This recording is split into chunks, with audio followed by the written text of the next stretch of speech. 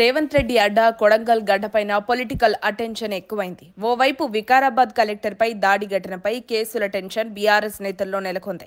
ఈ దాడిలో ఎవరున్నా వదిలేది లేదని రేవంత్ సర్కార్ సీరియస్ యాక్షన్కు దిగుతోంది.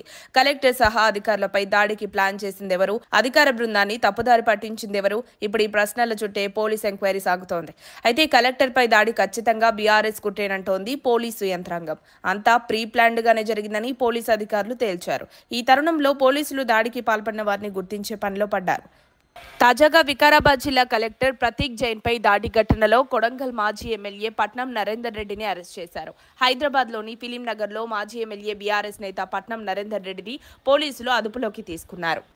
లగచర్ల దాడి ఘటనలో బోగమోని సురేష్ కీలకంగా వ్యవహరించినట్టు పోలీసులు గుర్తించారు. ఈ మేరకు కేసు నమోదు చేసి దర్యాప్తు చేశారు. ఈ దర్యాప్తులో కీలక ఆధారాలు సేకరించారు. ప్రధాన నిందితుడు టీఆర్ఎస్ కార్యకర్త సురేష్ పరారిలో ఉన్నారని తెలిపారు. సురేష్ వెనకాల ఎక్స్ ఎమ్మెల్యే నరేందర్ రెడ్డి హస్తముందని ప్రాథమిక సాంకేతిక ఆధారాలు సేకరించారు. కలెక్టర్పై దాడికి ముందు తర్వాత నరేందర్ రెడ్డితో సురేష్ దాదాపు నలభై సార్లు ఫోన్లో మాట్లాడినట్లు పోలీసు అధికారులు గుర్తించారు. ఇదే కేసులో ఇప్పటికే పదహారు మందిని కోర్టులో హాజరుపరిచారు. అనంతరం పోలీస్ బందోబస్తు నడుమ పరిగి సబ్ జైలుకు తరలించారు. ఇప్పటివరకు యాభై ఐదు మందిని అరెస్ట్ చేసిన పోలీసులు వారిలో ముప్పై తొమ్మిది మందికి నోటీసులు ఇచ్చి పరిగి పోలీస్ స్టేషన్ నుంచి పంపించి వేశారు. కలెక్టర్ దాడి జరిగిన సమయంలో స్థానిక సీసీటీవీ కెమెరాలో రికార్డైన దృశ్యాలను పరిశీలించిన పోలీసులు మొత్తం యాభై ఐదు మంది ఉన్నట్లు తేల్చారు.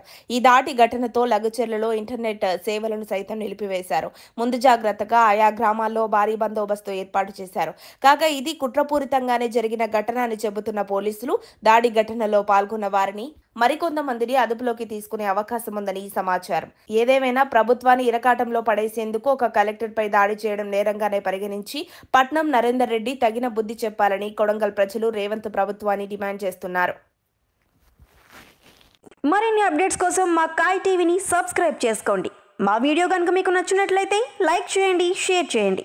మీ విలువైన అభిప్రాయాలను కామెంట్ బాక్స్లో తెలియజేయండి.